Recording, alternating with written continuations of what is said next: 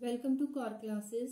Student, आज हम इस वीडियो में पढ़ने वाले हैं B H E P H E zero one unit number three unit number second में हमने किया था मोशन इन स्ट्रेट लाइन फिर हमने यूनिट थ्री स्टार्ट किया था मोशन इन अ प्लेन जिसमें हमने डिस्टेंस वेलोसिटी एक्सेलरेशन डिस्कस किया था कि प्लेन में अगर मोशन की जाए बाय एन ऑब्जेक्ट तो उसका वेलोसिटी और एक्सेलरेशन क्या रहेगा। आज हम एक नए तरीके की मोशन पढ़ने वाले हैं। जब हमने मोशन इन स्ट्रेट लाइन किया था, तब हमने ये सीखा था कि मोशन अगर अलोंग एक्स एक्सिस है तो एक्स एक्सिस कोई हम एग्ज़ाम्पल के साथ लेके चल सकते हैं। सपोज़ कीजिए कोई कार्ट है, वो अलोंग एक्स एक्सिस में चल रही है, जिसमें उसका जो एक्सलरेशन रहता है, वो कांस्टेंट रहता है, क्योंकि उसकी वहाँ पे वेलोसिटी कांस्टेंट रहती है। तो वो भी हो गया motion in a straight line अब अगर बात करें कि हमने एक जगह पे खड़े हैं और बॉल को ऊपर फेंक रहे हैं और बॉल जब ऊपर जाएगी, तब वहाँ उसकी क्या होगी, जो वेलोसिटी होगी, वो चेंज होगी। उस उस पॉइंट पे, उस कंडीशन में, जो मोशन में, उस टाइम पे जो मोशन हम करवा रहे हैं, उसमें जो स्पीड होगी, वो चेंज होगी। और एक ऐसा पॉइंट आएगा, जिस हाइट से, वो हाइट वो होगी पर्टिकुलर हाइट के बाद, वो जो उसकी, जो बॉल है, वो वापस अर्थ सरफेस पे आएगी। जिसकी वजह से उसका जो आ, उसका एसलरेशन है उसका जो स्पीड है वो इंक्रीज करता है। मतलब कि वहाँ पे एसलरेशन जो होगी वो चेंज होती है। लेकिन यहाँ पे अगर motion in along x axis पे देखते हैं तो वहाँ पे क्या है जो स्पीड है वो चेंज नहीं होती है अलोंग एक्स एक्सिस वो कांस्टेंट रहती है। ये लेकिन अगर बात करें मोशन अलोंग एक्स एक्सिस तो हमें पता है कि जो एंगल थीटा बनता है अलोंग द मोशन प्रोजेक्टेड जो ऑब्जेक्ट है उसके अलॉन्ग जो एक्स एक्सिस के साथ जो एंगल बनता है दैट इज़ ज़ीरो एंगल अगर जो मोशन अलोंग वर्टिकल पोजीशन पे अलोंग वाई एक्सिस में देखे तो वहाँ पे एंगल बनता है 90 डिग्री बट अगर जो ऑब्जेक्ट है वो उसको प्रोजेक्ट किया जाए उसको इस तरह से फॉर एग्ज़ाम्पल एक बॉल है वो एक आ, मैं एक बॉल फेंक रही हूँ जो बॉल फेंक रही हूँ वो जो एंगल बनाएगी विद एक्स एक्सिस वो ज़ीरो एंड 90 डिग्री के बीच में होगा। सपोज़ कीजिए ना तो वो ज़ीरो एंगल है, ना ही 90 डिग्री है। वो सपोज़ कीजिए 60 डिग्री है 40 डिग्री है 25 डिग्री है तो उस केस में कैसी इक्वेशंस होंगी for motion equations for motion आज हम पढ़ने वाले हैं और इस तरह से जो मोशन होती है, जिसमें जो एंगल है विद एक्स एक्सिस वो between zero and ninety degree रहता है, उस टाइप की मोशन को हम बोलते हैं प्रोजेक्टाइल मोशन अब सपोज़ कर लेते हैं एक डायग्राम के थ्रू सपोज़ कीजिए यहाँ पे एक लड़का खड़ा है, उसने बॉल फेंका, जो एक्स एक्सिस के अलोंग उसका जो एंगल है वो between zero and x ninety degree के बिटवीन बन रहा है. तो ये तो ना ही मोशन अलोंग एक्स एक्सिस है, ना ही होरिजोंटल मोशन है, ना ही ये वर्टिकल मोशन है. तो इस तरह की जो मोशन है, जैसे कि आपने यहाँ पे बॉल फेंका तो बॉल मैक्सिमम हाइट पे जाएगी और एक पर्टिकुलर हाइट के बाद वो फॉल करेगी towards the surface of earth ठीक है? और इस तरह की मोशन इस टाइप की मोशन को बोलते हैं प्रोजेक्टाइल मोशन ये तो था मैनुअली हम कैसे समझा, समझ सकते हैं? अब इसके डेफिनेशन पे आते हैं प्रोजेक्टाइल का मतलब क्या होता है? प्रोजेक्टाइल इज़ एन ऑब्जेक्ट उस ऑब्जेक्ट को प्रोजेक्टाइल कहते हैं दैट इज़ थ्रोन लॉन्च्ड और प्रोजेक्टेड इन अ स्पेस जो स्पेस में लॉन्च करी जाए। तो उस तरह के उस ऑब्जेक्ट को, अगर यहाँ पे बॉल को मैं फेंक रही हूँ तो यहाँ पे बॉल प्रोजेक्टाइल होगा। अब प्रोजेक्टाइल मोशन क्या होगा? When any object is thrown in space किसी भी ऑब्जेक्ट को स्पेस में फेंका गया है थ्रो किया गया है with a finite horizontal velocity horizontal velocity along x axis वो फाइनाइट होगी एंड उसे fall it allowed to fall freely and it undergoes projectile motion मतलब कि हमने एक प्रोजेक्टाइल जो है, उसे एक ऑब्जेक्ट को फेंका, वो प्रोजेक्टाइल बनी इस तरह से कि जो वो होरिजोंटल एक्सिस के साथ वो, जो उसकी वेलोसिटी होगी, वो कोई पर्टिकुलर वेलोसिटी होगी फाइनाइट वेलोसिटी होगी। और उसे हम फ्रीली फॉल कर, करवाएँगे ताकि वो अपने आप एक ऐसा मोशन ऐसा प्रोजेक्ट प्रोजेक्टाइल मोशन इस तरह से करती है कि वो बाद में सरफेस ऑफ़ अर्थ पे वो फॉल कर जाए। तो इस तरह की मोशन को प्रोजेक्टाइल मोशन बोलते हैं। अब एग्जांपल हम को, कोई भी ले सकते हैं जैसे कि stone falling off a cliff या फिर food packet thrown from an aircraft shell fired from an cannon तो इस तरह की मोशन जो होती है वो प्रोजेक्टाइल मोशन में पाई जाती है। A particle that is given some initial velocity अगर किसी भी पार्टिकल को इनिशियल वेलोसिटी दे दी जाए और उस पॉइंट से इनिशियल पॉइंट से वो स्टार्ट होगा but that moves in plane with constant acceleration जिसका कांस्टेंट एसोलेशन कहेंगे, उसका अगर कांस्टेंट एसोलेशन तब अब उस टाइम हम उसको कहेंगे कि वो प्रोजेक्टाइल मोशन में है। दोबारा समझ लीजिए। अगर कोई भी पार्टिकल है, उसे इनिशियल पॉइंट के ऊपर इनिशियल पोजीशन के ऊपर, उसे इनिशियल वेलोसिटी के थ्रू वो मूव कर रहा है बट वो प्लेन में मूव कर रहा है। अगर वो प्लेन में मूव कर रहा है, क्योंकि प्लेन का मतलब वो x axis and y axis के बीच में सपोज़ कीजिए वो मूव कर रहा है तो ना तो उसे कहेंगे अलॉन्ग हॉरिजॉन्टल मोशन ना ही उसे वर्टिकल मोशन कहेंगे। तो वो प्लेन में मूव कर रहा है। विद उसका जो एक्सेलरेशन होगा एक्सेलरेशन उसका कॉन्स्टेंट रहेगा। तो उसको हम बोलेंगे कि वो जो ऑब्जेक्ट है, वो प्रोजेक्टाइल मोशन के थ्रू मूव कर रहा है। And projectile falling near the surface of earth experiences downward acceleration obviously downward क्योंकि वो बाद में fall करेगा तो इसका मतलब वहाँ पे downward acceleration होगी जिसको हम gravity बोलते हैं acceleration due to gravity that is g vector अब इस केस में अगर हम ऐसा बोल रहे हैं कि अर्थ सरफेस जो है एक्सपीरियंस करती है डाउनवर्ड एसोलेशन तो उस टाइम पे हम कुछ चीज़ों को एज्यूम करते हैं क्या एज्यूम करते हैं कि हम कुछ चीज़ों को निग्लेक्ट करने वाले हैं वो इस तरह से है निग्लेक्ट अगर हम एयर रेजिस्टेंस को भी ना माने the effect of rotation of earth इसको भी ना माने the path of projectile is of short range so that magnitude and direction is constant g value अगर कांस्टेंट है, इस बात को भी ना माने। अब अगर तीनों कंडीशंस को हम निग्लेक्ट करें, तब हम उस टाइप में जो अर्थ सरफेस है earth surface experience downward acceleration due to gravity that is g vector अब टू डायमेंशन में in the two dimensional motion to projectile motion हम एज्यूम करके चलेंगे कि अगर जो प्लेन में टू डायमेंशनल में जो मोशन है, वो एक्स वाई प्लेन में है, जिसमें जो हॉरिजॉन्टल डायरेक्शन में अगर वो मूव करा तो हम उसे एक्स एक्सिस लेके चल रहे हैं, और जो वर्टिकल मोशन है, उसको हम वाई एक्सिस लेके चल रहे हैं। इसके बाद हम एक एज्यूम कर लेते हैं। देखिए सपोज़ कीजिए this is the initial condition यहाँ पे इसका जो कोऑर्डिनेट्स होंगे सपोज़ कीजिए यहाँ पे zero zero that is origin तो यहाँ पे एक्स भी ज़ीरो है वाई भी ज़ीरो है। तब मैं इसको डिनोट करूँगी with x naught y naught ठीक है? अब ये एक्स नॉट वाई नॉट इसके अगर कोऑर्डिनेट्स हैं उसकी जो वेलोसिटी होगी along x axis from the origin वो क्या होगी? V naught x along x axis ये एक्स एक्सिस है। अलोंग वाई एक्सिस क्या होगी? वी नॉट वाई और इसका एसोलेशन क्या होगा? एसोलेशन ड्यू टू ग्रेविटी क्योंकि वो नेगेटिव जी क्योंकि वो ऊपर अपवर्ड मोशन है तो हमने ये लास्ट यूनिट में पढ़ा है कि हम उसको माइनस जी लेके चलते हैं। तब अगर वेक्टर नोटेशन की फॉर्म में देखें v naught x along x axis तो दूसरा वेक्टर है v naught y along y axis तो उसका रिजल्टेंट क्या निकलेगा? रिजल्टेंट सपोज़ कीजिए हम उसको उस वेक्टर को ले रहे हैं v naught vector that is the velocity v naught vector अब ये जो एंगल बनाएगा with respect to x axis वो होगा थीटा एंगल ठीक है? ये थीटा जो एंगल होगा, वो होगा बिटवीन ज़ीरो एंड 90 डिग्री वो बिटवीन ज़ीरो एंड 90 डिग्री के बीच में उसका ये प्रोजेक्टाइल एंगल होगा, ठीक है? अब यहाँ से जो सपोज़ कीजिए यहाँ से जो बॉल है या कोई भी ऑब्जेक्ट है, उसको थ्रो किया गया है, वो मैक्सिमम कितनी हाइट तक जा सकता है? मैक्सिमम कितनी हाइट तक जा सकता है? वो उसको बोलते हैं एच मैक्स हम इसको नोटेशन दे देंगे और, या फिर इसको हम बोलेंगे फ्रॉम द हॉरिजॉन्टल एक्सिस के साथ मैक्सिमम हाइट का जो डिस्टेंस है, उसे हम हाइट बोलेंगे या कैपिटल एच या फिर एच मैक्स के साथ उसको डिनोट करते हैं। अब इस पर्टिकुलर हाइट के बाद this is the maximum height अब इस हाइट पे, उसके बाद क्या करेगा, जो ऑब्जेक्ट होगा, वो उसमें अब क्या करेगा, वो फॉल करना स्टार्ट करेगा। फॉल करना स्टार्ट करेगा, अब ऐसे फॉल करेगा, देखिए यहाँ से, कि जिसमें क्या होगा, जो एक्स एक्सिस है दैट इज़ वी एक्स जो होगा that is parallel to x axis तो हमने इस तरह से ड्रॉ कर दिया। वाई एक्सिस क्या होगा? Parallel to this y axis यहाँ पे। लेकिन इसका जो रिजल्टेंट होगा, वो रिजल्टेंट क्या होगा? एक्स एंड वाई एक्सिस के बीच में that is v t this is not v naught और एक्स नॉट यहाँ पे हम इसको ले रहे हैं v x t v y t मतलब at particular instant particular time के बाद वो ऑब्जेक्ट फॉल करना स्टार्ट हो रहा है। इसलिए हम इसको नोटेशन दे रहे हैं विद टी ठीक है?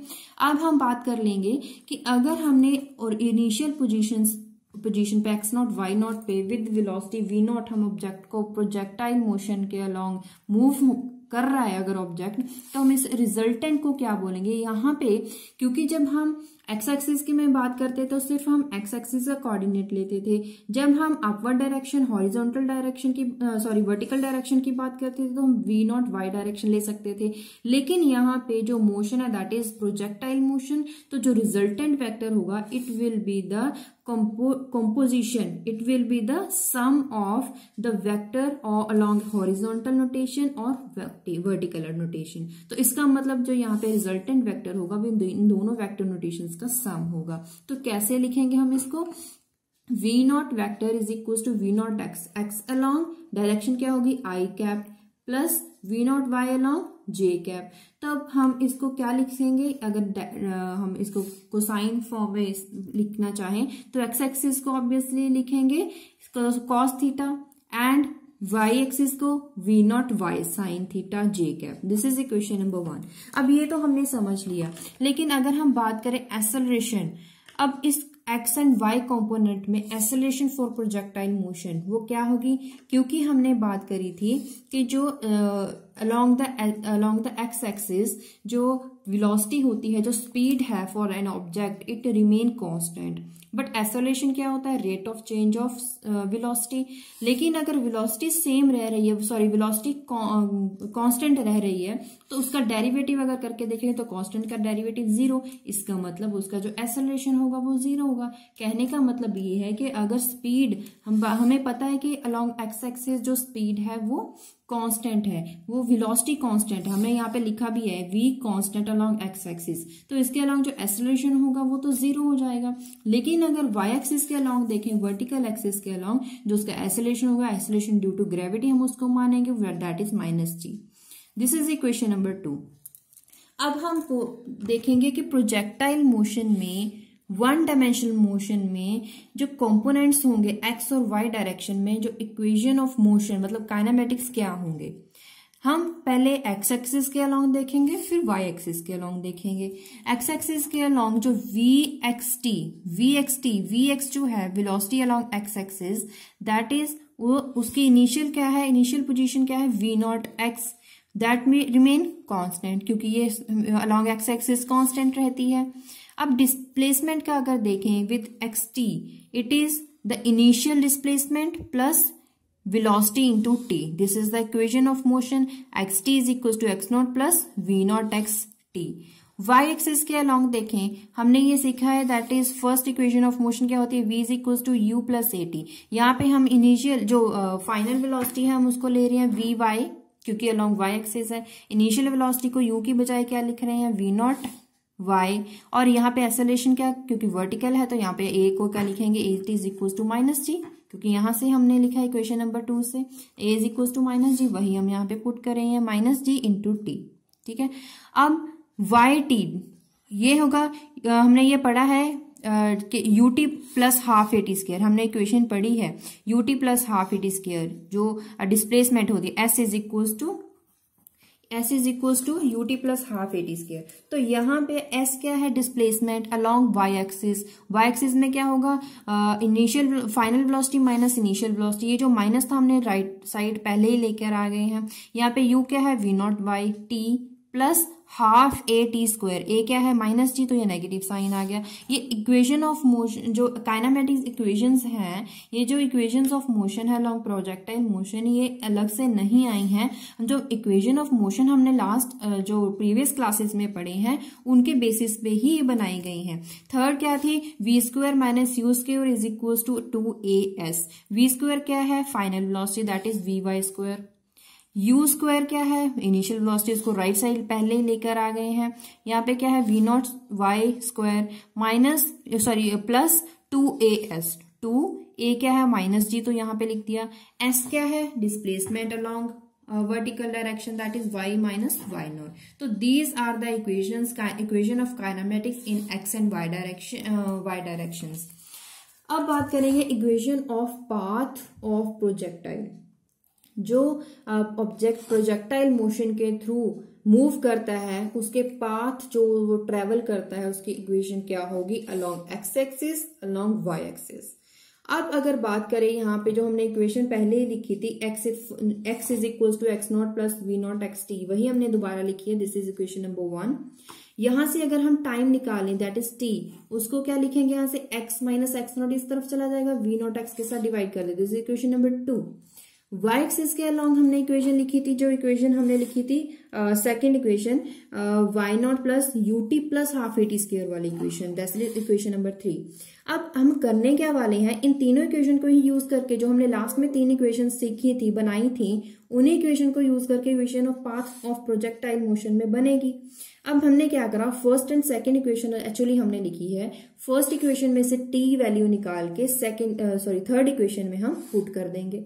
तो देखिए यहाँ पे लिखा है put value of three from second equation यहाँ से ये जो फ़र्स्ट इक्वेशन से निकाली गई टी वाली वैल्यू ये हम पुट करेंगे सेकेंड इस थर्ड इक्वेशन में। थर्ड इक्वेशन में पुट कर दी। और इसके बाद ये जो हमने इसको पुट कर दिया this is equation number four इसको ऐसे ही रहने देंगे। अब ये जो इक्वेशन है, ये इक्वेशन किस तरह से होगी सपोज़ कीजिए दैट इज़ वाई यहाँ पे कोई कांस्टेंट है a plus b x plus c x क्योंकि यहाँ पे एक्स टर्म भी है। एक्स स्क्वायर टर्म भी है, एक कांस्टेंट टर्म भी है। तो हम इसको लिख सकते हैं a plus b x plus c x square लेकिन ये जो इक्वेशन है this is equation of parabola इसका मतलब ये हुआ कि जो प्रोजेक्टाइल मोशन में जो पाथ होता है दैट इज़ पैराबोलिक पाथ हम ये बोल सकते हैं कि जो path of projectile is parabolic ये हमें कैसे पता चला? हम जो इक्वेशन क्या करा था? हमने इक्वेशन ऑफ़ मोशन जो थी फ़र्स्ट इक्वेशन और सेकंड इक्वेशन दोनों को यूज़ करा। फ़र्स्ट इक्वेशन में से टी वैल्यू निकाल के सेकेंड इक्वेशन में पुट करा, जिसकी वजह से जो इक्वेशन आई, हमने उसको जस्ट ऑब्ज़र्व किया। ऑब्ज़र्व किया, देखिए यहाँ पे एक्स स्क्वायर है तो इसका मतलब यहाँ पे एक्स स्क्वायर टर्म होगी हाईएस्ट टर्म उसके बाद एक्स टर्म भी होगी, उसके बाद कुछ कॉन्स्टेंट टर्म भी है यहाँ पे वाई नॉट लिखा हो कोई ना कोई एक्स कॉन्स्टेंट टर्म भी है। तो ये इस तरह की इक्वेशन बनती है, लेकिन ये जो इक्वेशन होती है, वो पैराबोलिक है, इसका मतलब ये जो पाथ है, वो पैराबोलिक पाथ रहेगा। अब बात आती है कि जो कांस्टेंट है ए बी सी हम इसको फाइंड कैसे करेंगे? इसको फाइंड करने के लिए equation number four and equation number five को अगर आप ध्यान से देखें तो यहाँ पे हम कांस्टेंट्स को कॉफिशेंट्स को कंपेयर करेंगे। एक्स के कॉफिशेंट फिर वाई के कॉफिशेंट फिर कांस्टेंट इसकी वजह से अगर ऐसे हम कंपेयर करेंगे तो हमारे पास ए बी सी की वैल्यू आ जाएगी।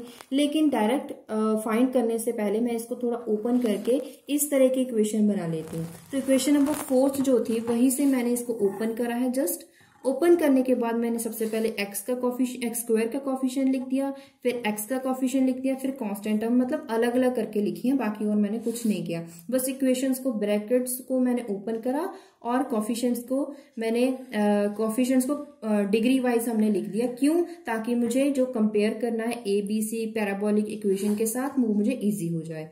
तब ये जो मैंने इक्वेशन बना ली है, उसके बाद मैं क्या करूँगी? मैं कॉफिशियंस को कंपेयर करूँगी एक्स स्क्वायर सॉरी कांस्टेंट सबसे पहले मैं कांस्टेंट को कंपेयर करूँगी तो ये जो टर्म आ जाएगी, मेरे पास वी वैल ए वैल्यू आ रही है एक्स कॉफिशेंट को कंपेयर करने के बाद ये आ रही है और कांस्टेंट टर्म करने के बाद ये एक्स स्क्वायर करने के बाद ये।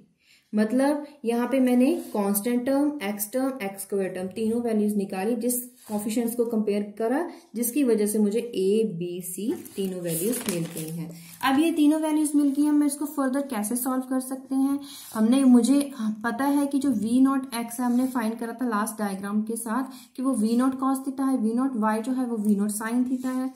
अब क्या करेंगे? हम यहाँ पे the point at which projectile is thrown कहाँ, कौन सा स्टार्टिंग पॉइंट कहाँ था?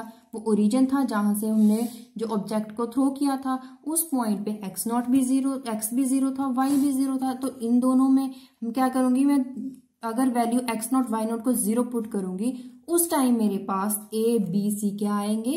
ए बी और सी ये टर्म्स आ रहे हैं।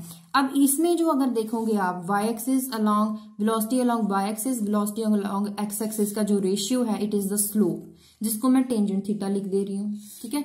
और दूसरी तरह मैं कैसे समझ सकती हूँ? यहाँ पे जो वैल्यू आई है v naught y upon v naught x अगर इन दोनों को डिवाइड करूँगी तो ये कैंसिल आउट हो जाएँगे। Sine theta upon cos theta क्या होता है? टेंजेंट थीटा तो ये स्लोप भी अगर दो तरीके से इसको समझ सकते हैं, ये स्लोप भी है, और अगर दोनों को इक्वेशन को डिवाइड करेंगे, तब भी मेरे पास यही वैल्यू आ रही है। तो इसका मतलब ये है, जो लास्ट में हमने एबीसी फाइंड करा है, अगर हमें कहा जाए कि वो वैल्यू क्या होगी, अगर जो ऑब्जेक्ट है उसे ओरिजिन के ओरिजिन से हमने इनिशियली थ्रो किया है तो उस टाइम हमें एक्स नॉट वाई नॉट की वैल्यूज़ को जस्ट ज़ीरो पुट करना है, क्योंकि ओरिजिन है, वहाँ पे एक्स और वाई दोनों ज़ीरो हैं तो ये जो मेरे पास तीनों वैल्यूज़ आ जाएँगी, वो वो वैल्यू आएँगी, जहाँ पे ऑब्जेक्ट को ओरिजिनली ओरिजिन पे थ्रो किया गया था। अब ये बात हमने कंप्लीट कर ली है कि इक्वेशन ऑफ़ मोशन जो पाथ है वो पैराबोलिक पाथ है। लेकिन आ, कितने टाइम के लिए जो ऑब्जेक्ट है वो हवा में रहता है? जहाँ जब से हमने उसको थ्रो किया है वहाँ से लेकर अर्थ सरफेस के टच करने से पहले तक वो हवा में है उसको बोलते हैं टाइम ऑफ़ फ़्लाइट कितने टाइम के लिए रहता है? उसको बोलेंगे time of flight maximum height हमने अभी डिस्कस की है, मैं दोबारा समझा देती हूँ कि जब ऑब्जेक्ट को थ्रो किया जाता है, वो मैक्सिमम कितनी हाइट पे जा सकता है? उस हाइट को बोलते हैं मैक्सिमम हाइट नेक्स्ट है, अगर मैंने यहाँ से सपोज़ कीजिए, ये मेरे पास एक्स एक्सिस वाई एक्सिस है, यहाँ से मैंने थ्रो किया, यहाँ आके बॉल गिर गई, ठीक है? अब यहाँ से लेकर यहाँ तक जो मैक्सिमम डिस्टेंस है मैक्सिमम कितना डिस्टेंस ट्रेवल कर सकती है? बॉल या कोई ऑब्जेक्ट उसको बोलते हैं रेंज। ठीक है? अब मुझे इन तीनों की वैल्यूज़ चाहिए होंगे। टाइम ऑफ़ फ़्लाइट क्या होगा? कितने टाइम के लिए वो आ, हवा में है? और कितना मैक्सिमम हाइट पे ऑब्जेक्ट जा सकता है? कितनी उसकी रेंज होगी? अब उसके लिए हम क्या करेंगे? Let time of projectile is denoted by t max. Time of flight जो है सपोज़ कीजिए वो सॉरी कितने मैक्सिमम मैक्सिमम हाइट के लिए जो टाइम है, कि मैक्सिमम हाइट जो है एच जो है, उस, वहाँ तक पहुँचने के लिए कितने टाइम में पहुँची? सपोज़ कीजिए वो टाइम है टी मैक्स ठीक है? अब अब मैंने इसको ब्रैकेट में भी लिखा है time at which projectile reaches its maximum height just before it start falling down falling down से पहले मैक्सिमम हाइट पे जब पहुँचता है, वो टाइम क्या है? सपोज़ कीजिए वो टाइम है टी मैक्स अब projectile velocity velocity along y axis वो तो ज़ीरो रहता है। V y is equal to zero क्यों? क्योंकि जो मोशन है, हम पढ़ रहे हैं along x axis maximum time of flight ठीक है? तो यहाँ पे जो वी वाई होगा, वो तो ज़ीरो हो जाएगा।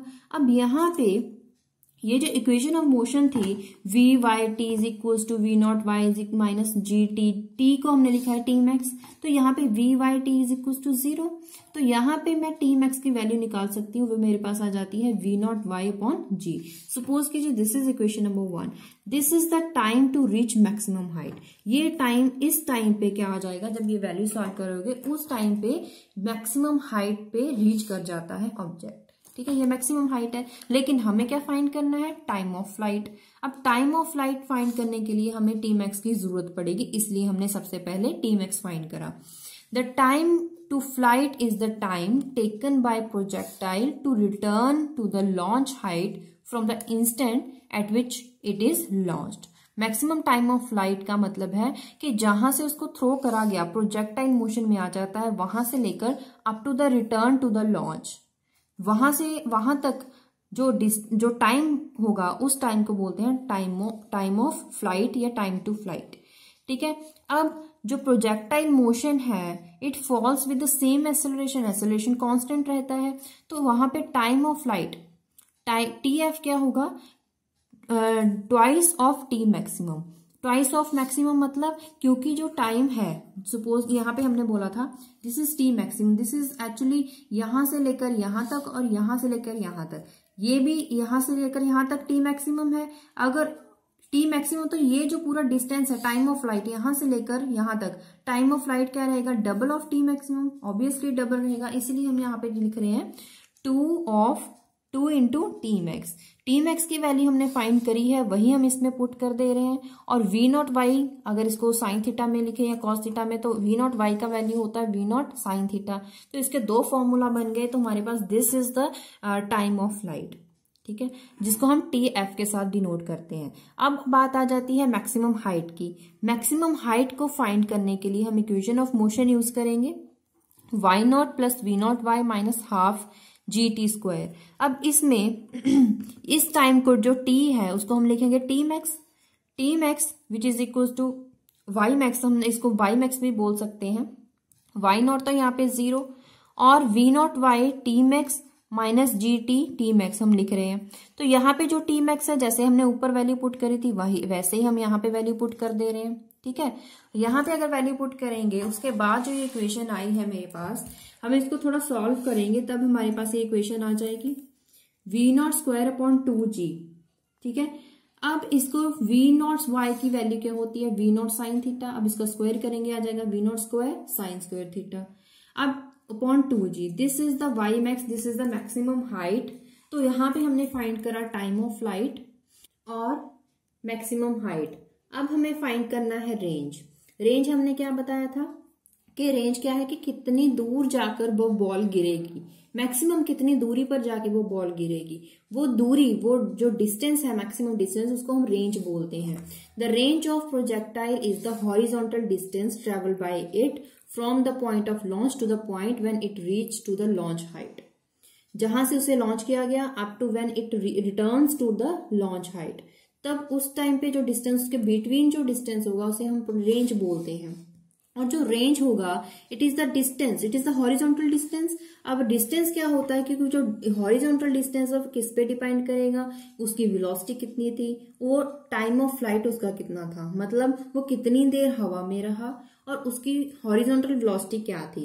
अगर हम इसको असली जो इजी तरीके से हम आपको समझाना चाहें, जो डिस्टेंस होता है वो वेलोसिटी क्या होता है? डिस्टेंस अपॉन टाइम अब डिस्टेंस क्या होगा? वेलोसिटी इनटू टाइम इसीलिए यहाँ पे डिस्टेंस को लिखा आर क्योंकि it is a horizontal distance तो जो वेलोसिटी होगी, वो भी हॉरिजॉन्टल वेलोसिटी होगी. इनटू द टाइम वो टाइम कौन सा होगा? टाइम ऑफ़ लाइट अब यहाँ पे हॉरिजॉन्टल वेलोसिटी क्या थी? V naught X time of flight क्या था? टी एफ़ यहाँ पे टी एफ़ की वैल्यू दोबारा से जो हमने फाइंड करी थी वो पुट कीजिए। ये जो वैल्यू रहेगी आपके पास दैट इज़ रेंज ठीक है? ये रेंज के लिए। अब यहाँ पे वी नॉट एक्स क्या होता है? V naught sine theta sorry V naught cos theta V naught Y क्या होता है? वी नॉट साइन थीटा तो हम ये वैल्यूज़ पुट करेंगे तो हमारे पास क्या आ जाएगा? Two V naught square sine theta cos theta T G two sine theta cos theta क्या होता है? Sine two theta. तो इसके तीन फॉर्मूलाज बन गए। जनरली ये फॉर्मूला हम यूज़ करते हैं वैल्यू न्यूमेरिकल फाइंड करने के लिए। अब हम चलते हैं ग्राफ पे। जो ग्राफ है, यहाँ पे एक्स कंपोनेंट वाई कंपोनेंट के लिए डिस्टेंस वेलोसिटी एंड एक्सलेशन के लिए बनाया गया है। अगर हम सबसे पहले बात करें एक्स एक्सिस के लिए, जो डिस्टेंस होगा। डिस्टेंस फ्रॉम ओरिजिन से स्टार्ट होता है टी मैक्सिमम यहाँ पे जो आ जाएगा that is time of flight मतलब कि ट्वाइस ऑफ़ टी मैक्सिमम ठीक है? तो जो मोशन होगा जो मोशन ऑफ़ बॉल जैसे कि हमने कहा था कि बॉल जो है वो थ्रो की गई है वो एक टाइम से लेकर दूसरे टाइम के बीच में अगर बात करें बॉल यहाँ से अगर यहाँ तक जाती है मतलब कि बॉल यहाँ से आ, मैं आपको पिछले पेज में समझाती हूँ।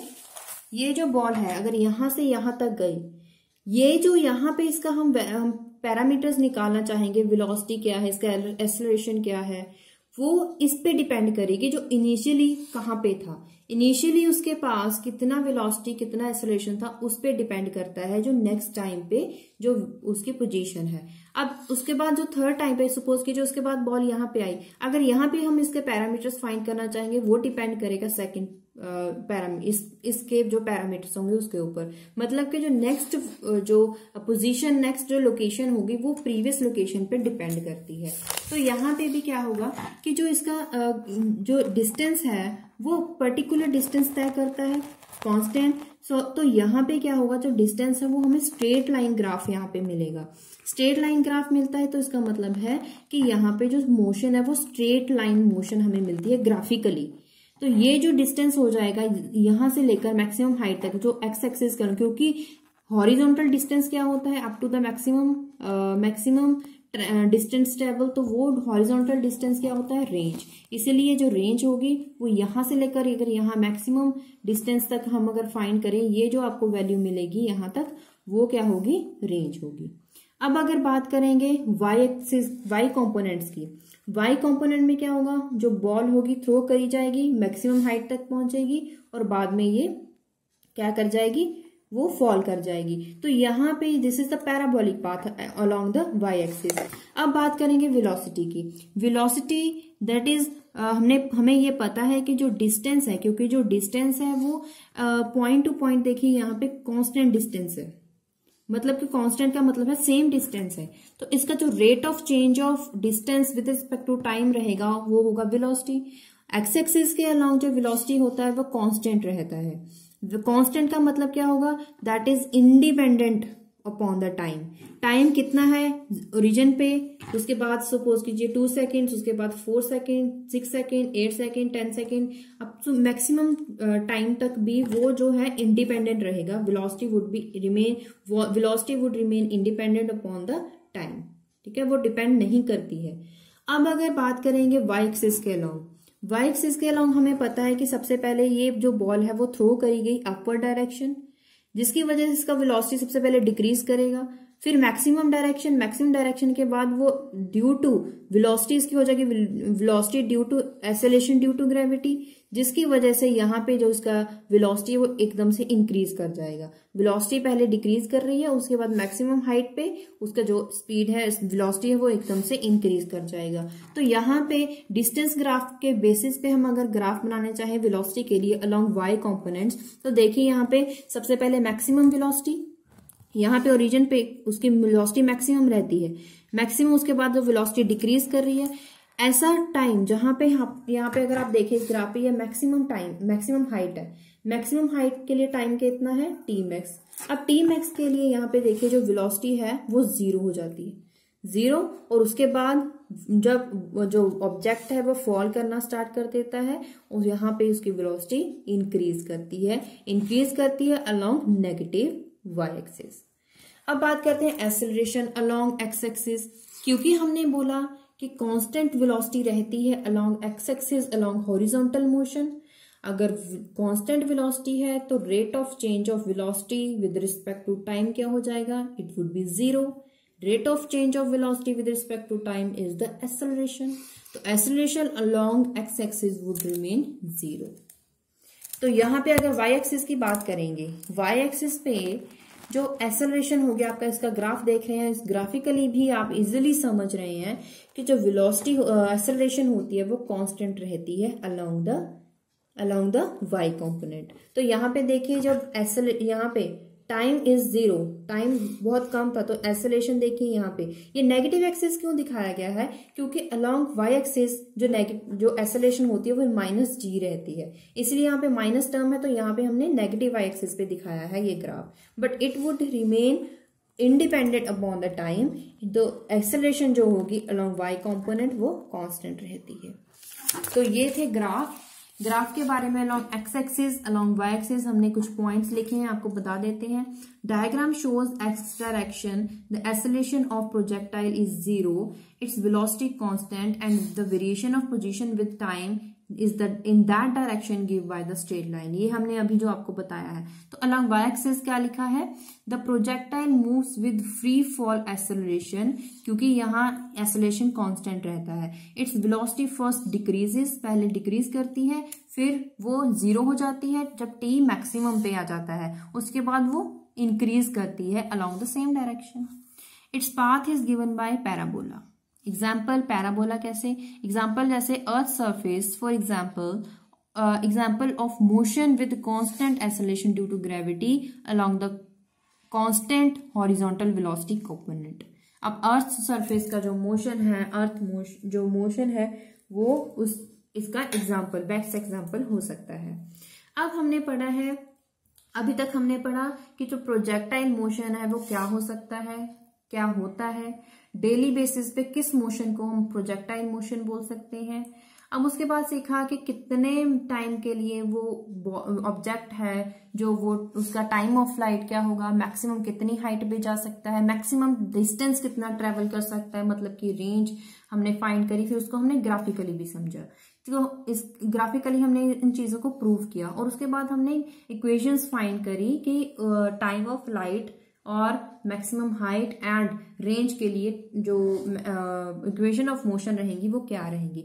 अब आपको एक बात यह ध्यान रखना है कि हमने जो काइनामेटिक इक्वेशंस यूज़ करी थी with X axes and Y axes वो तभी वैलिड हैं अगर time of launch sorry point of launch and point of impact same हो। Point of launch and point of impact अगर वो सेम होता है, तभी हम उसको फाइंड यूज़ कर सकते हैं। लेकिन अगर पॉइंट ऑफ़ लॉन्च और पॉइंट ऑफ़ इम्पैक्ट डिफरेंट हो तो तब हमें प्रॉब्लम नहीं आएगी। लेकिन हमें करना क्या होगा कि जो एक्स एक्सिस और वाई एक्सिस जो कंपोनेंट्स होंगे, हमें उन्हें इंडिपेंडेंटली यूज़ करना पड़ेगा। और दोनों एक्सिस जो दोनों इक्वेशन होंगी एक्स एक्सिस और वाई एक्सिस के लिए हमें इंडिपेंडेंटली यूज़ करनी पड़ेगी। तो चलिए हम नोमेरिकल में देखेंगे। सबसे पहले हमें क्या गिवन है? First numerical the Olympic record for long jump 8.9 metre है 90 metre was held by an athlete अगले ही ओलंपिक में ही jumped 8.95 metre it has been found that the best long jumpers optimum take off an angle उनका angle किस किस के बीच में है? 18 डिग्री और 25 डिग्री के बीच में है. This is the much less than the angle 45 degree angle 45 के डिग्री से बहुत कम है at which the range of projectile is maximum मतलब जो रेंज है मैक्सिमम रेंज है, वो 45 डिग्री एंगल से भी कम है. Athlete as an ideal projectile, assuming take off angle to be. Take off angle अगर फ़र्स्ट इक्वेशन में मानेंगे 20 डिग्री सेकंड में मानेंगे दो, दूसरा क्वेश्चन जब जो एंगल हो वो 25 डिग्री हो फाइंड क्या करना है हमें? Initial velocity of world record holder initial velocity find करनी है। सबसे पहले हम देखेंगे कि हमें गिवन क्या है। गिवन है हमें आर वैल्यू मैक्सिमम रेंज, एक थी 8.90 एक थी 8.95 हम कौन सी यूज़ करेंगे? जो मैक्सिमम मैक्सिमम डिस्टेंस होगा, वो मैक्सिमम कौन सा है? 8.95 इसका मतलब रेंज क्या है हमारा? 8.95 जी क्या है? 9.8 मीटर पर सेकेंड स्क्वायर अब थीटा जो है थीटा जो है थीटा सबसे पहले गिवन है कि 20 डिग्री हमें क्या फाइंड करना है? इनिशियल वेलोसिटी लेकिन हम कौन सा फॉर्मूला यूज़ करें? हाइट का यूज़ करें? रेंज का यूज़ करें? या फिर हम कौन सा फॉर्मूला यूज़ करें? क्योंकि हमें क्वेश्चन में रेंज गिवन है तो हम यहाँ पे रेंज का फॉर्मूला यूज़ करेंगे। रेंज का फॉर्मूला है, वहाँ पे हमने इस फॉर्मूले को रिजोल्व करा है, जिसमें इनिशियल वेलोसिटी क्योंकि हमें फाइंड करना है तो हमने इसको लेफ़्ट साइड रखा। बाकी सारी टर्म्स हमने राइट साइड रखी। तो उसका यहाँ पे वी नॉट स्क्वायर होता है तो यहाँ पे इसलिए हमने यहाँ पे रूट डाला है। जस्ट आपको वैल्यूज़ पुट करिए और आप फाइंड कर सकते हैं। Nine point eight zero R की वैल्यू फाइंड करें, थीटा वैल्यू फाइंड करें, उसका अंडर रूट सॉल्व करें, आपके पास आ जाएगा मीटर पर सेकंड में। किलोमीटर पर आर में निकालना होता है आपको रेंज। तो किलोमीटर पर आर में आप इसको कन्वर्ट कर लेंगे, आपके पास आंसर आ जाएगा। सेकेंड फॉर्मूला भी सेम यूज़ करोगे, लेकिन यहाँ पे थीटा आपको चेंज करना है, थीटा आपको रखना है ट्वेंटी फाइव डिग्री। यहाँ पे साइन टू थीटा था तो इसलिए आ गया sign fifty degree.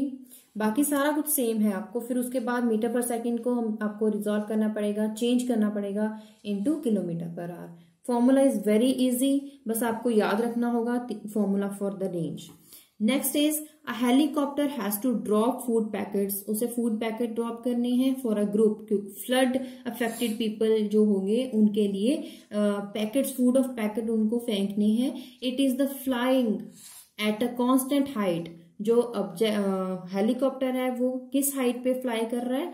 Hundred metre towards the point directly overhead overhead the people at a speed उसकी स्पीड है seventy two kilometre per hour the food packets must be dropped very close to the people अब एक find क्या करना है? What should be the angle phi of a pilot line of sight pilot line of sight से angle आपको जो five है, वो फाइंड करना है कब?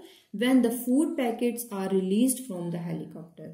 Second, how far ahead of the people should be food packet be released from the uh, कितनी दूरी से वो जो होगा आपको फ़ूड uh, पैकेट वो रिलीज़ करेगा कब रिलीज़ होंगे कब कहाँ से हेलीकॉप्टर से तो हमें ये दो वैल्यूज़ फाइंड करनी है तो अब हम सोल्यूशन में सबसे पहले क्या बात करेंगे क्योंकि जब बैकेट को ड्रॉप किया जाएगा तो उसकी मोशन ऑब्वियसली प्रोजेक्टाइल मोशन होगी।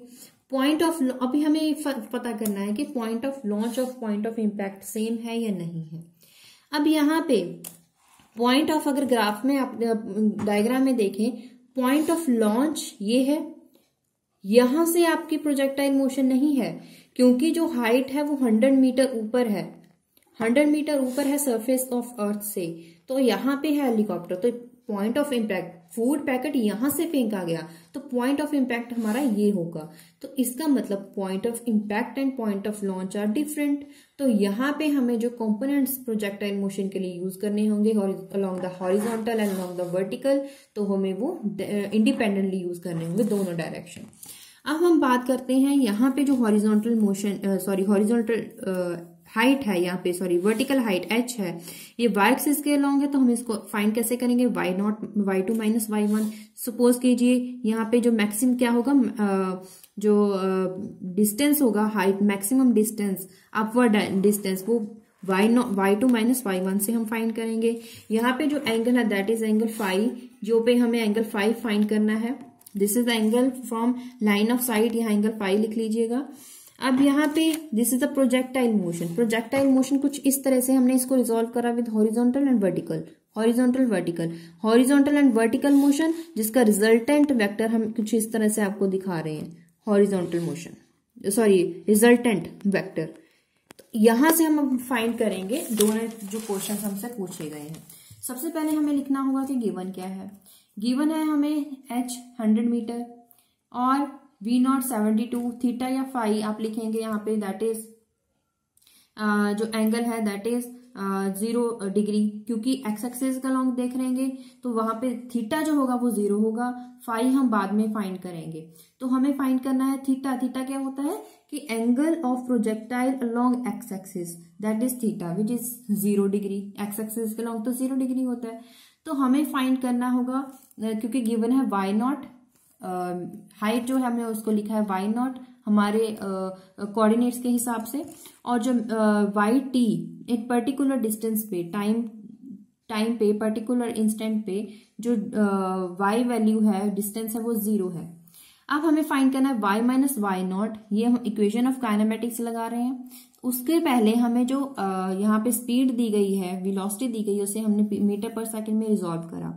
यहाँ पे y naught y t is zero यहाँ पे वाई नॉट हंड्रेड है is equal to v naught v naught y क्या होता है? V naught sine theta delta t g delta t square minus hundred is equal to v naught है हमारा twenty sine theta कितना है? Zero delta T हमने as it is लिख दिया क्योंकि हमें डेल्टा टी नहीं पता है, वही तो हमें फाइंड करना है सबसे पहले. माइनस हाफ़ जी वैल्यू और t value as it is लिखी। साइन ज़ीरो ज़ीरो तो पूरी टर्म हमारे पास ज़ीरो आ जाएगी। डेल्टा टी हमारे पास क्या आ रहा है? Four point five second four point five second लेकिन हमें फाइंड करना है angle that is tangent phi tangent phi क्यों? टेंजेंट फाइव ही क्यों लिखा? हमने क्या करा?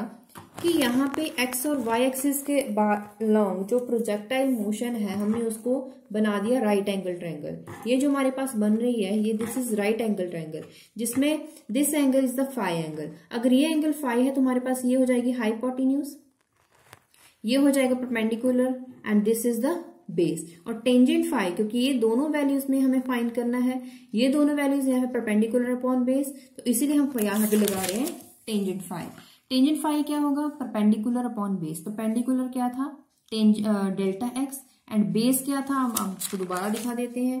परपेंडिकुलर इज़ डेल्टा एक्स जिसकी वैल्यू क्या रहेगी? अब यहाँ पे डेल्टा एक्स क्या होता है? Distance distance is velocity into time velocity v naught x t is the change in the time and perpendicular क्या है? एच वही हम यहाँ पे लिख रहे हैं। Delta x upon h delta x का वैल्यू पुट कर दिया हमने।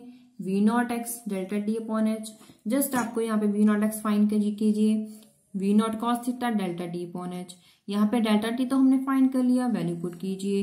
कॉस थीटा ज़ीरो था कॉस ज़ीरो वन होता है। V naught is equal to two phi upon h is equal to hundred हमने जस्ट वैल्यूज़ पुट करी और आप इसको फाइंड करेंगे, आपके पास अपने आप आंसर आ जाएगा ज़ीरो पॉइंट नाइन और this is the tangent phi is equal to zero point nine और tangent inverse zero point nine is equal to forty two degree आप इसको रिजोल्व कर सकते हैं। हॉरिजोंटल डिस्टेंस ट्रेवल्ड बाय अभी फाइंड करना था horizontal distance travelled by a packet after being releasing it after being releasing it तो हमें हॉरिजोंटल डिस्टेंस फाइंड करना है। हॉरिजोंटल डिस्टेंस अगर फाइंड करेंगे distance is equal to velocity into time तो अलॉन्ग हॉरिजॉन्टल है तो यहाँ पे हम कौन सा कंपोनेंट यूज़ करेंगे? V naught x into t v naught x is twenty time हमने फाइंड करा four point five second delta t यहाँ पे हम डेल्टा टी लिखेंगे और यहाँ पे हमने फाइंड करा नाइनटी मीटर तो यहाँ पे हम बोल सकते हैं कि the helicopter should release the food packet at the point that is ninety metre ahead of people and at an angle 42 degree यही दोनों हमें वैल्यूज़ फाइंड करनी थी, यही वैल्यूज़ हमने फाइंड करी जो हमें पूछी गई थी। Next numerical is a football is hit by a player player ने बॉल को हिट किया so that it leaves her foot at कितनी स्पीड से? 15 मीटर पर सेकेंड की स्पीड से और एंगल था 30 degree with the ground with x axis how how high the ball rise maximum कितनी हाइट तक वो बॉल गई तो इसका मतलब हमें मैक्सिमम हाइट का फाइंड करना होगा। How long does it stay in the air before falling in the ground इसका मतलब हमें टाइम ऑफ़ फ़्लाइट फाइंड करना होगा। How far it is from the point it was hit when it land जब वो land कर रही है तो कितने डिस्टेंस हाउ फार कितनी मैक्सिमम कितनी दूरी पे लैंड कर रही है तो ये हमें इसका मतलब फाइंड करना पड़ेगा रेंज तो इसका मतलब हमें maximum height time of flight range तीनों फाइंड करना है, देखते हैं गिवन क्या है वी नॉट गिवन है 15 डिग्री थीटा हमें थर्टी डिग्री गिवन है जी हम यूज़ कर रहे हैं क्योंकि क्वेश्चन में दिया गया है कौन सी वैल्यू लेंगे। मैक्सिमम हाइट का आपको फाइंड करना है। जस्ट फॉर्मूला आपको याद है फॉर्मूला लिखिए। वी नॉट का वैल्यू 15 डिग्री साइन 30 डिग्री, आप वैल्यूज़ पुट कीजिए अपने आप आपके पास आंसर आ जाएगा।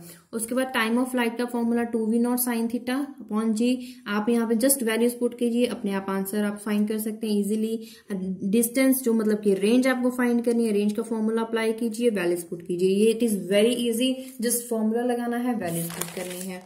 और उसके बाद next numerical is next numerical is let the take off speed for athlete is 9.5 metre per second take off speed उसकी है 9.5 metre and the angle of take off is 25 degree how much less would athlete range be in the case compare to the maximum range मतलब जो maximum range है, जो maximum range है और जो minimum range होगी उन दोनों के बीच में कितना, कितनी दूरी का कमी होगी? मतलब मैक्सिमम वो कितनी जा सकती थी? मैक्सिमम मिनिमम वो कितनी हो सकती थी? उन दोनों का डिफरेंस हमें एक्चुअली फाइंड करना पड़ेगा।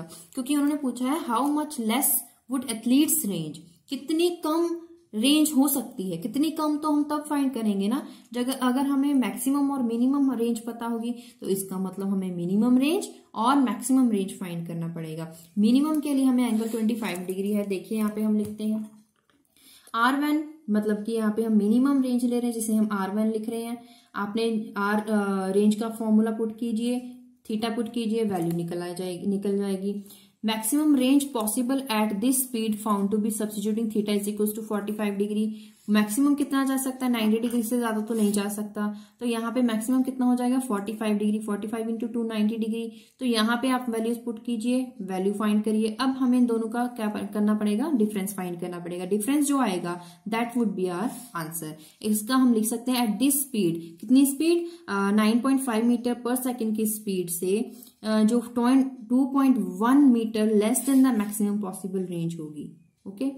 अब next is question car jumps over a chasm between cliffs in a popular stunt stunt के लिए कार जंप करी in a motorcycle jump stunt the rider took off in on his motorcycle and jumped on a horizontal distance horizontal distance पे कितना कितना jump करा कितना distance था 85 metre across a row of car assume करना है कि जहाँ से स्टार्ट किया जहाँ पे लैंड करा वो सेम ही लेवल था। इसका मतलब हमें इंडिपेंडेंट यूज़ नहीं करने पड़ेंगे। यहाँ से इसका मतलब है the point of landing point of starting मतलब कि impact and the launching point same है। एंड एयर uh, में जो टाइम है मतलब कि यहाँ पे टाइम ऑफ़ फ़्लाइट गिवन है 2.5 सेकेंड और यहाँ पे है what was his maximum height मतलब हमें मैक्सिमम हाइट फाइंड करनी है। At what speed and angle speed and angle भी फाइंड करना है। कब? Did he launch his motorcycle in the air तो यहाँ पे अगर हम एक्स वाई एक्सिस को लॉन्ग हम ग्राफ बना के देखें तो इस डायग्राम में हम ये पता कर सकते हैं जो कार की मोशन है, वो तो हॉरिजॉन्टल हमें दी गई है। तो जो मोटरसाइकिल जंप कर रहा है, वो उसका प्रोजेक्टाइल मोशन है। हम इन दोनों में एक्स एक्सिस को लॉन्ग ले लेते हैं। Let X axis be along the straight line joining the car along the ground Y axis along the vertical direction अब क्योंकि जो राइडर का starting and launching point same starting and landing point same है तो यहाँ पे kinematics हम use करेंगे X and Y axis X and Y axis को हम uh, इकट्ठा यूज़ कर सकते हैं horizontal distance that is the range time of flight मैंने अभी बोला था हमें दोनों गिवन है तो यहाँ पे टाइम ऑफ़ फ़्लाइट को यूज़ कर सकते हैं। Time of flight is two into T maximum T maximum का फॉर्मूला फाइंड करिए। ये हमने क्यों फाइंड करा? क्योंकि हमें चाहिए। क्या फाइंड करना है हमें? हमें फाइंड करना है इनिशियल uh, वेलोसिटी तो वेलोसिटी अगर हमें फाइंड करनी है तो उसके लिए हमें गिवन क्या था? टाइम ऑफ़ लाइट इसीलिए हमें टाइम ऑफ़ लाइट का फॉर्मूला पुट करना पड़ेगा। टाइम ऑफ़ लाइट का फॉर्मूला एक तो होता है two T maximum T maximum का formula V naught sine theta point इसमें हमने वी नॉट साइन थीटा अलग से ले लिया। वैल्यू फाइंड कर दी। उसके बाद मैक्सिमम हाइट क्या हो सकती है? मैक्सिमम हाइट थी हमारी वी नॉट साइंस की और थीटा अपॉन टू जी इसका वैल्यू मैंने सॉरी हम फाइंड करना भूल गए। आप यहाँ पे वैल्यू जस्ट पुट करिए और आपको आंसर मिल जाएगा। उसके बाद रेंज थी। रेंज के लिए formula two V naught square sine theta cos theta upon G यहाँ पे वी नॉट कॉस थीटा ये क्या है आपके पास? जी आर आपको इसको जस्ट रिजोल्व करना होगा फॉर्मूले को। V naught cos theta left hand side रखिए, बाकी सारी टर्म राइट हैंड साइड आप जो वैल्यू फाइंड करेंगे वो किसकी होगी? यहाँ पे ये वैल्यू होगी thirty four metre per second V naught cos theta V naught sine theta की वैल्यू पुट करी, क्योंकि थीटा हमें गिवन नहीं है। V naught sine theta value put करी V naught cos theta value put करी, और रिजल्टेंट जो होगा उसका रिजल्टेंट वैक्टर क्या होता है? V naught cos theta I plus V naught sine theta J हमने जस्ट इसकी वैल्यूज़ पुट करी और इसका मैग्नीट्यूड फाइंड करा। मैग्नीट्यूड फाइंड करने के बाद जो हमारे पास ये आंसर आया that would be our velocity initial velocity अब ये जो विलोसिटी थी मीटर पर सेकंड में है, आप करिए इसको कन्वर्ट किलोमीटर पर सेकंड में। क्वेश्चन दो थे, हमें स्पीड भी फाइंड करना था एंगल भी फाइंड करना था। एंगल क्या होता है? जो हम फाइंड करते हैं स्लोप के थ्रू वाई एक्सिस के along velocity along X axis के अलॉन्ग दोनों का रेशियो लीजिए। उसके बाद टेंजन इनवर्स डिग्री फाइंड कीजिए 19.8 डिग्री आपके पास अप्रोक्सीमेट एंगल आ जाएगा। उसके बाद है अ visitor in a zoo throws a banana at a monkey एक विजिटर आया जू में उसने जो मंकी था वो मंकी पेड़ के ऊपर बैठा हुआ था उसके उसके पास उसने बनाना फेंका। Sitting on a tree monkey पेड़ पे बैठा था। उसने क्या करा?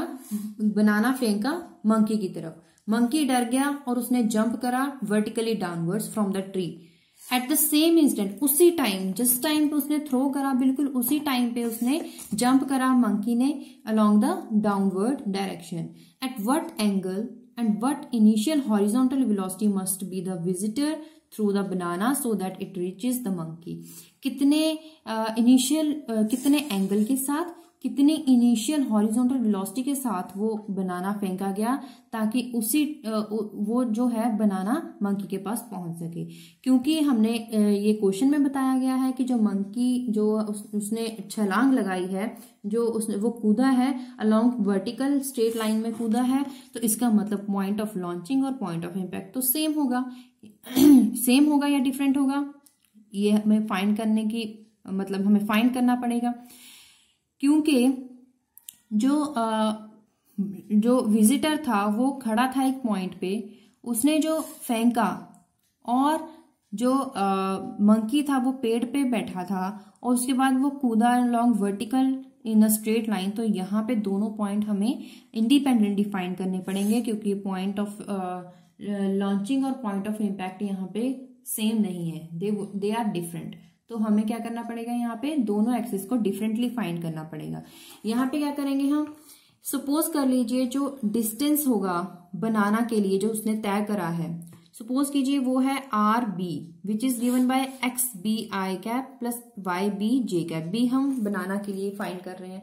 मंकी के लिए जो है, उसको हम लिखेंगे R vector M X M I cap plus Y M J cap अब हम सपोज़ कर रहे हैं कि जो बनाना है और banana reaches the monkey at the time T is equal to capital T क्योंकि हमें ये बताया गया है कि जो सेम टाइम पे हमने ये सपोज़ करा है कि वो सेम टाइम पे जो बनाना है मंकी के पास पहुँच रहा है, वो टाइम सेम है तो इसका मतलब जो हम टाइम सपोज़ कर रहे हैं और जो मंकी के पास पहुँच रहा है सपोज़ कीजिए वो टाइम कैपिटल टी है, वो दोनों इक्वल है।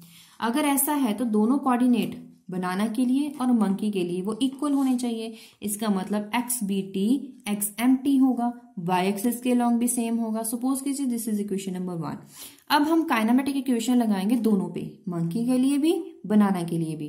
काइनामेटिक मोशन अगर एक्स बी टी क्या होगा? वी नॉट एक्स टी क्योंकि distance is equal to velocity into time और वाई बी टी क्या होगा? V naught Y T minus half G T square monkey के लिए भी सेम लेकिन यहाँ पे जो बी है, वो हम ले रहे हैं एम यहाँ पे जो डिस्टेंस है मंकी के लिए, वो क्या है? मैक्सिमम कितना डिस्टेंस ट्रेवल करा? बनाना ने वही पॉइंट क्या होगा? जहाँ पे मंकी ने कूदा कूदा, जहाँ पे मंकी कूदा तो ये मैक्सिमम डिस्टेंस है तो मैक्सिमम डिस्टेंस है मतलब वो क्या है? आर है. अब जो वाई एम टी अब वाई एम टी जो मैक्सिमम कितनी जो डिस्टेंस कितना है? वी नॉट टी मैक्सिमम कितना है? जो मैक्सिमम उसका बनाना का हाइट होगा, वो मैक्सिमम क्या होगा मंकी के लिए? H minus half G T square this is question number three equation number one two three हम दोनों ने, हम तीनों इक्वेशन पुट कर लिए। तीनों इक्वेशन को हम यूज़ करेंगे। अप्लाइंग कंडीशन वन कंडीशन हम अप्लाई करेंगे इक्वेशन नंबर टू पे भी इक्वेशन नंबर वन पे भी. यहाँ पे हम इक्वेशन नंबर जो वन है, वहाँ पे ये गिवन था कि X B T is equal to X M T तो इस इक्वेशन को हम पुट करेंगे इक्वेशन नंबर टू में। इक्वेशन नंबर टू में पुट करा, जहाँ पे एक्स एम टी था, वहाँ पे हमने लिख दिया V naught T V naught X T R यही जो इक्वेशन थी, यहाँ पे हम आर वैल्यू पुट कर टी वैल्यू फाइंड करेंगे टी इज़ गिवन बाय ये डिनोमिनेटर में चला जाएगा। This is equation number four अब हम क्या करेंगे? वाई बी टी बनाना के लिए पुट करेंगे। बनाना के लिए क्या था? V Y B T is equal to Y M T यही वैल्यू हम पुट करेंगे इक्वेशन जो थी बनाना के लिए। ये हमने फाइंड कर ली value this is equation number five अब हमने करा क्या है? जो इक्वेशन नंबर वन थी, हमने उसको यूज़ करा है मंकी की दोनों इक्वेशन के लिए। X M is equal to R के लिए भी Y M is equal to H minus half G T square के लिए भी। दोनों इक्वेशन निकाली। अब यहाँ पे हमने क्या करा है? यहाँ से हमें टी मिल रहा। जो थर्ड जो हमने थर्ड इक्वेशन को यूज़ करके ये फिफ्थ इक्वेशन बनाई है। वहाँ से हमें इक्वेशन मिल रही है। अब हम यहाँ पे टी वैल्यू पुट कर सकते हैं। टी वैल्यू यहाँ से उठा के यहाँ से, यहाँ पे आप सब्सिट्यूट कर दीजिए। तो हमने लिखा substitute value of T from fourth into the five value जो आपको मिलेगी, ये जो वैल्यू है V naught Y upon V naught X into R is equal to H हमें मिला। क्योंकि V naught Y upon V naught X क्या होता है? टेंजेंट थीटा तो हम यहाँ पे टेंजेंट थीटा लिख सकते हैं। टेंजेंट थीटा क्या हो जाएगा यहाँ पे? एच अपॉन आर तो ये हमें मैक्सिमम एंगल मिल गया। Angle theta is the angle of sighting the target just before it start falling falling करने से पहले जो मैक्सिमम हाइट तक जो एंगल था that is angle theta that is visitor threw it directly at the monkey उसने directly monkey पे की तरफ़ फेंका। उसी टाइम पे, जिस टाइम पे उसने कूद वो कूदा। हम इसको डायग्राम के थ्रू देख सकते हैं। ये क्या है? यहाँ पे खड़ा होके उसने जो क्या है, उसको फेंका। बनाना को फेंका। बनाना, फेंका। उसी टाइम पे यहाँ पे मंकी बैठा था, उसने छलांग लगा दी, वो कूद गया। वो यहाँ पे जो, या, इसका एक्सलेशन वो क्या है? Half A T square half G T square तो दिस इज़ यहाँ पे आप लिख सकते हैं that is maximum height H is equal to tangent theta ये आप अगर रिजॉल्व करोगे इसको राइट right एंगल के थ्रू तो आप इसके साथ इजिली आप फाइंड कर सकते हैं। और यहाँ से लेकर यहाँ तक जहाँ पे मंकी कूदा ये जो मैक्सिमम डिस्टेंस uh, है maximum distance given by R तब यहाँ से हम ये लिख सकते हैं क्योंकि angle is independent upon the velocity at which the banana is thrown at the monkey the horizontal velocity of the banana it should be large enough the velocity would be large enough in case of banana to reach the distance r in the time t. So, it should be equal to r by t.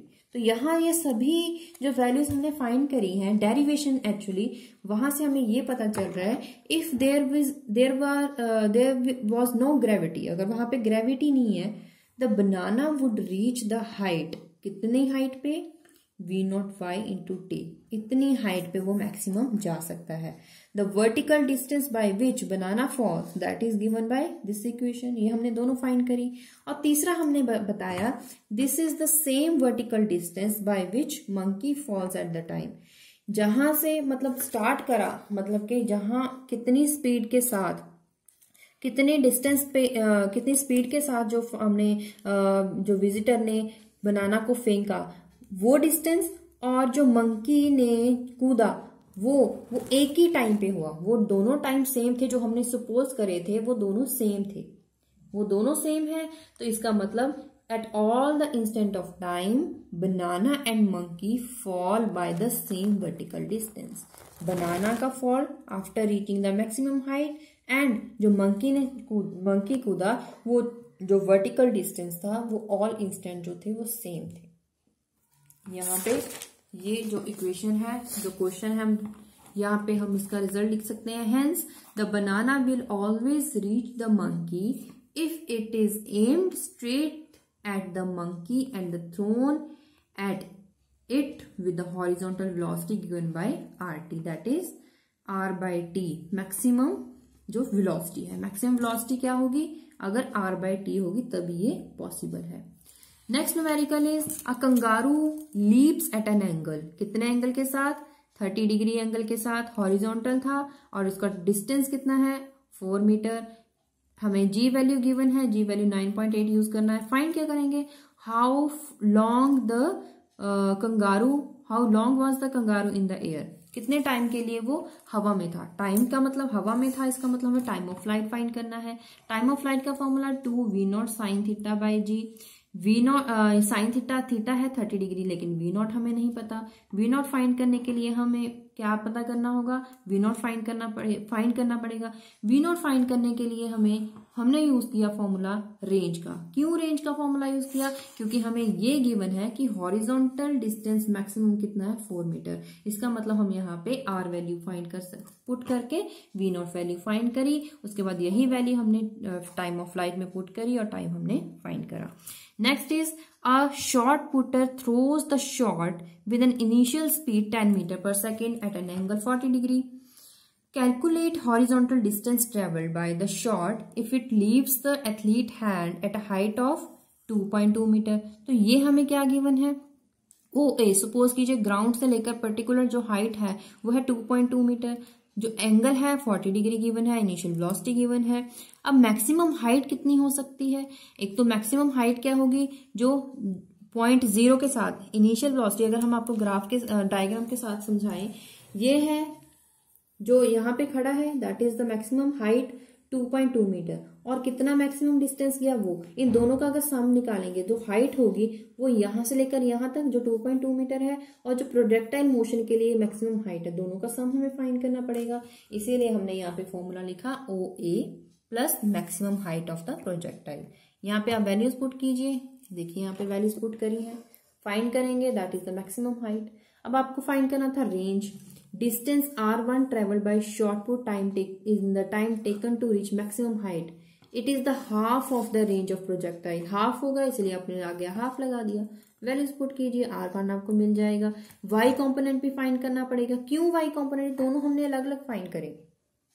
Y component of the velocity is equal to zero at maximum height तो यहाँ पे v naught cos theta which is given by v naught ten cos theta forty degree v naught cos theta along x axis हमने find करा। अब time t for the shot put to fall the ground जो shot put है, कितने time के बाद वो maximum height के बाद वो ग्राउंड पे गिरेगा? वो क्या होगा? इक्वेशन हमें गिवन है। यहाँ पे initial velocity along y component zero है। इनिशियल डिस्टेंस वो ज़ीरो से स्टार्ट हुआ है। तो ये दोनों वैल्यूज़ तो ज़ीरो हो जाएँगी। तो यहाँ पे आप जस्ट फॉर्मूला पुट कीजिए और आपके पास वैल्यू आपको गिवन है क्वेश्चन में से। और आप वैल्यूज़ पुट कीजिए। उसके बाद r two distance r two distance is velocity into time velocity into time t one हमने अब पहले ही फाइंड कर रखा है। अभी जो फाइंड करा point nine four values put कीजिए। आपके पास जो आंसर आ जाएगा that would be R two अब फाइंड क्या करना था? Calculate horizontal distance by the shot अब हॉरिजोंटल डिस्टेंस अगर आप ग्राफ में देखोगे हॉरिजोंटल डिस्टेंस पॉइंट ज़ीरो से लेकर मैक्सिमम हाइट तक कहाँ पहुँचा? उसके बाद मैक्सिमम हाइट के बाद फॉल करने के बाद कहाँ पहुँचा? ये दोनों रेंजेस हमने फाइंड करी। दोनों रेंजेस को अगर हम प्लस कर देंगे तो टोटल हॉरिजॉन्टल डिस्टेंस हमें मिल जाएगा। इसीलिए हमने एंड में दोनों जो रेंजेस वैल्यू थी, दोनों को प्लस करा, जो हमारे पास आया वैल्यू वो है total horizontal distance travel by shot when it falls on the ground when it touch with the ground तो इसी के साथ हमने आज टॉपिक खत्म किया है प्रोजेक्टाइल मोशन प्रोजेक्टाइल मोशन के अलोंग मैक्सिमम हाइट क्या हो सकती है टाइम क्या हो सकता है और इक्वेशंस ऑफ़ काइनामेटिक्स क्या हो सकती हैं। और इसके साथ हमने आठ जो न्यूमेरिकल्स हैं एक्चुअली नॉन न्यूमेरिकल्स हमने फाइंड करे हैं सॉल्व करे हैं। इसके अलावा अगर आपको वीडियो में आ, कुछ भी समझ नहीं आया है कोई भी टॉपिक में कोई वैल्यू पुट करी है, कैसे पुट की गई है, अगर नहीं समझ आया तो कमेंट बॉक्स में पूछिए, वहाँ पे आपको क्लियर किया जाएगा। अगर आपके लिए वैल्यू हेल्पफुल है वीडियो हेल्पफुल है तो प्लीज़ इस चैनल को सब्सक्राइब करें वीडियो को लाइक करें, ताकि हम नेक्स्ट वीडियो भी आपको जल्द से जल्द अपलोड करके दें, और, देखते रहिए चैनल थैंक यू